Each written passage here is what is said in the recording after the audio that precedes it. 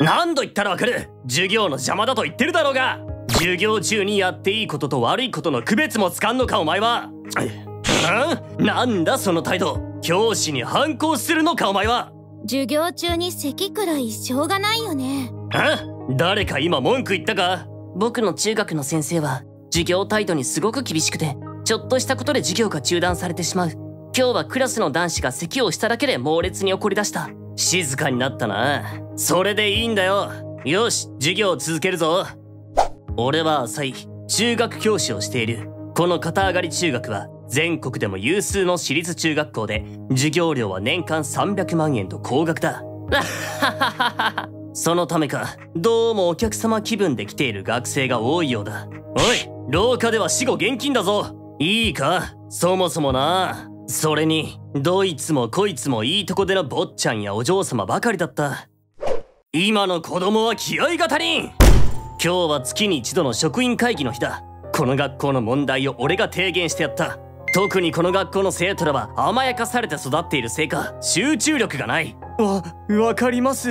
僕の授業でも声が小さい。もっと大きい声で喋れと注文をつけてきます。勉強よりもまず精神面を整えなくては学校の評判にも関わるかと。子供のくせに高級な財布や筆記用具を使用している生徒も多いようです。そうですね。我々教師陣ももう少しギアを上げていきましょう。親が金持ちだからって調子に乗りやがって。俺たちが叩き直してやるよ。こうして俺たち教師陣はこの学校をより良くしていくために意志を固めたのだ。そこ頬杖つかない。それからも先生たちはいちいち僕らの授業態度を厳しく指摘した。あすみません。だからだらしない姿勢になるんですよ。いいですか？勉強する前にその姿勢を。おいお前。今あくびしたよな。根性が足りてない証拠だ。第一最近の子供たちは根性が。また授業が中断しちゃった。これが僕らの日常だった。そんなある日。おこんなやついたか？俺は受け持っているクラスの中でものすごく地味なやつを見つけた地味すぎて今までその存在に気づいていなかったようだ。おいお前なんだこの髪は？長くてだらしないだろえぼ僕ですか？お前以外誰がいるんだ？明日までに切ってこい。ははい。そしてある日の授業中。はいストップします。またか。先生は授業を中断した。俺は怒ってる。渡る。なぜ俺が怒ってるかわかるか？え僕？僕はまた先生を怒らせてしまったようだ。ななんでって。えなんでですかね。だけどその理由が本当にわからなかった。お前の袖のボタンが取れかけているからだろうが。ええ？だらしがないぞ。風紀を乱すな。確かに僕の袖のボタンは少し緩んでいるようだった。ででもこれだけですすみません。家に帰ったらすぐ母さんに直してもらいます。だけど先生はへりくつはいい。お前なんてもう。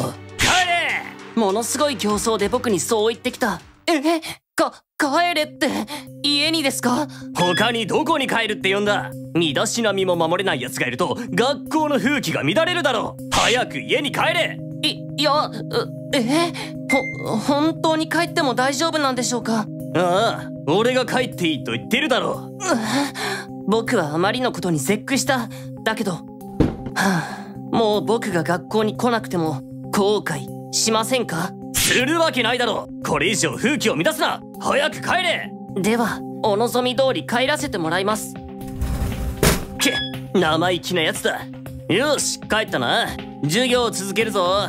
あんな陰キャ一人ぐらい減ってもどうってことない。生徒たちにはいい勉強になっただろう。じゃあこれアントンさんお願い。あの日から僕は学校に行かなくなり農家をやっている実家の人手が足りずお手伝いをするようになった。さらに今は収穫時期で忙しく便利屋さんにも手伝いをお願いしている。それよりどうしたんだい渡るくん。最近学校に行ってないようだが。えアントンさんは僕のことを心配してくれているようだった。お母さんも心配してるぞ。俺でよければ話を聞くが。大丈夫ですよ。そのうち向こうから連絡が来るはずです。うん。そう。僕にとっては何の問題もないのだよしホームルーム始めるぞ。なんだ北島と山梨は休みか。なっとらんな。次学校来たらきっちり言ってやらないと。ただ体調不良の生徒がたまたま重なっただけだろうと思った。しかし次の日お吉原と斎藤も休み。明らかに欠席が多くなった。風邪が流行ってんのか？それはうちのクラスだけではなかった。ここれは一体どういうことなんだ？1ヶ月後僕が学校に行かなくなってちょうど1ヶ月が経った頃だった。うー今日も暑いね。そうですね。家の電話が鳴った。あようやく来たかな。僕が電話を取るとはい桜本ですけど。助けてください。あなたがいないと学校が。どうやら電話の主は浅井先生のようだった。えー、じゃあここのところは？渡るが来なくなってから1人2人と学校休みだし1週間後ついには1クラスに3人しか登校しなくなった。ししかしどうしたんだ？他の奴らはそりゃそうですよ。渡るがいないとなあ？うん。わ渡る？あの陰キャか？どういうことだ？俺にはさっぱり意味がわからなかった。さらに1週間後。そしてついにだ誰もいない。生徒が誰一人登校してこなくなった。せ生徒たちが誰も来なくなってそろそろ2週間です。どどうしましょう私たち。ボイコットかしら？い一向に構わん。そんなのあいつらが将来苦労するだけだろうが。ほっとけほっとけ。だが。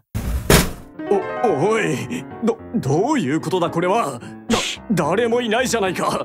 生徒たちが誰もいないじゃないか校長が久しぶりに学校に現れた。それが何が気に食わないのか生徒の奴らが来なくなりましてね。まあいいでしょう別に。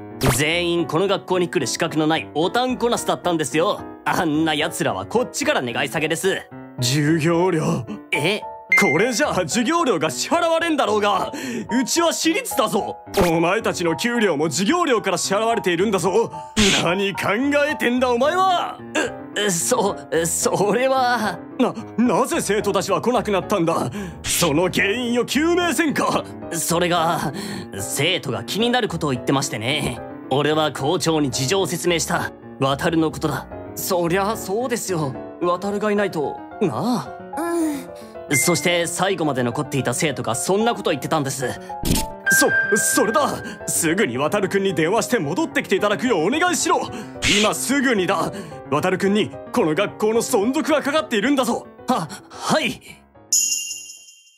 そそれで君が来なくなってから生徒が一人も来なくなってしまって。でしょうね。そう僕には分かりきったことだったのだ。